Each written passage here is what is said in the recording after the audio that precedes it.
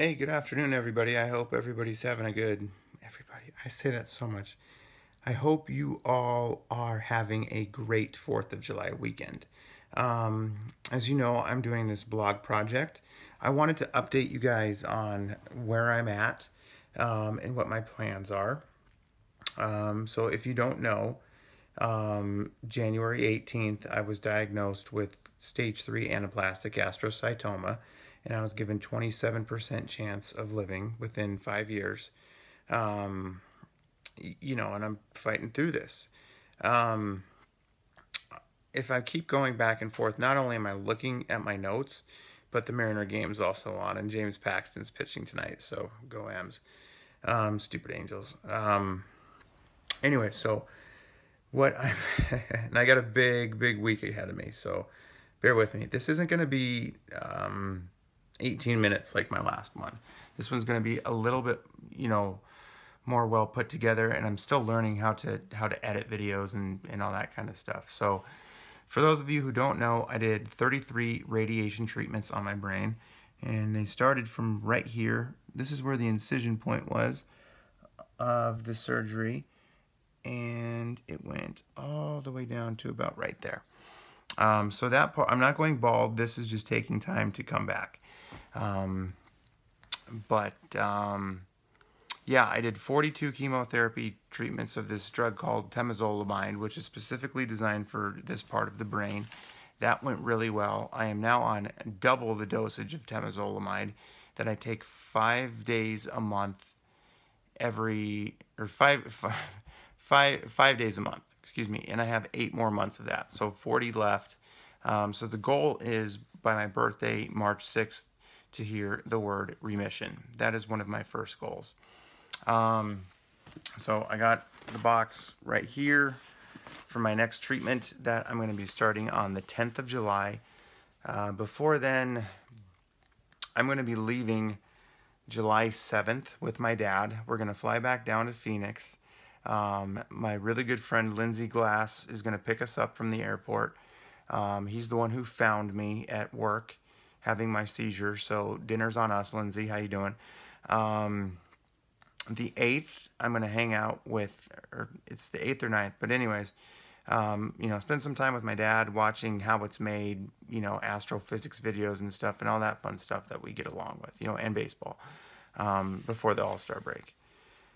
Uh, the 9th, Ryan Anderson's going to be having a little barbecue, um, and his wife, they just had a new baby girl.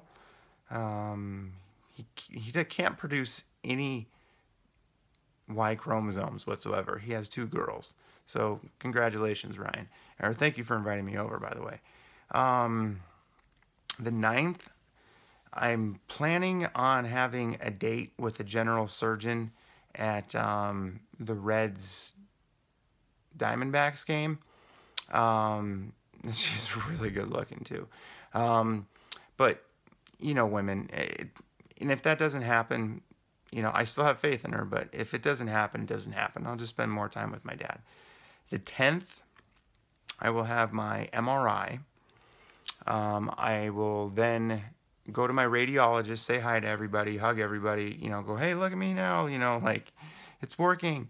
Um, and then I will go to my oncologist's office and we're going to take a look at those results and they're going to be good. They're going to be a lot better than last time. I'm really, really excited for that. Um, after that, after the 10th, I'm going to rush over to uh, the original Honor Health Hospital, and I want to see all of my nurses. I want to get all pictures with them and stuff, and you know, with their permission, of course. And um, you know, just say, hey, remember me from six months ago? You know, I'm still alive. Um, you know, because they did a lot of hard work for me. Um, I will then take double dosage of chemo through the 14th in Scottsdale. Um, and I'll just bang it out. You know, it's just another month of chemo. It's not that really that big of a deal. Um, I'll fly back home with my dad, or no, excuse me, and then I'll take a weekend off and I'll sit in the sun and, you know, 118 degrees, whatever it is, for about 20 minutes and I'll get my tan back. So looking forward to that. Um, the 17th, I'll fly home with my dad. Um, yeah, we, we're going to be getting back at like 11 o'clock at night. So if there's anybody in the Spokane area that, you know, would like to pick us up, you know, that with a big car, that would be awesome. Mom doesn't like to drive at night. Um, so I'm currently working on this website project. What I would like to do is get um, like YouTube links, donation links to um, you know, choosehope.com, which is a cancer foundation. I still don't want any money from you guys. So that whole GoFundMe for Tyler Carey, I don't want to do it. I just want to raise awareness for brain cancer. Um, and then the goal is to develop this like really great website where you can monitor all my progress. I can start from day one, um, you know, and then I can keep updating, you know, after I get remission, you know, weekly or daily or whatever. And um, because I don't want anybody else to ever go through this. Um, need to speak to Barrow Neurological Center too, get the doctor's permission, of course. You know, might have to get a lawyer, you know, when you're building a website. So um, a lot of big things are coming. But this is where my mind is at right now. I'm trying to get work done. Even on a Saturday when it's 88 degrees outside and it's the 4th of July weekend. This is what I'm doing. I'm working on my project. Um, I ran into Eileen Bieber today at the grocery store. Remember Mrs. Bieber, our uh, freshman, sophomore, junior, our junior English teacher. She looks great.